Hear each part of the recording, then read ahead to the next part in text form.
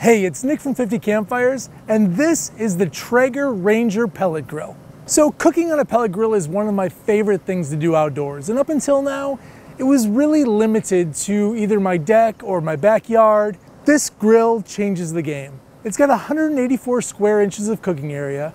I've made everything from chicken wings to ribs to pork butt on it. Uh, today I'm actually smoking cinnamon rolls. So this really is a full featured pellet grill. Uh, it's got a digital temperature controller that allows you to increase the temperature or decrease the temperature by five degree increments. Uh, it has a meat probe, so you can check the internal temperature of your meat without even having to open the grill and kind of ruin your smoke.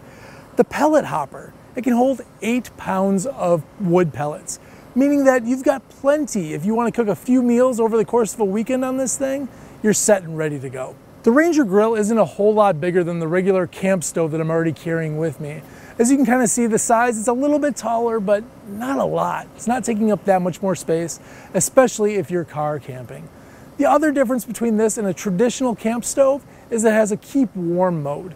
As opposed to a regular camp stove where the food might get cold when I'm done cooking trying to convince the kids to come back to camp, this has a keep warm mode, allowing me to keep the food warm until it's ready to be eaten. I love this thing. It is truly a game changer in campsite cooking.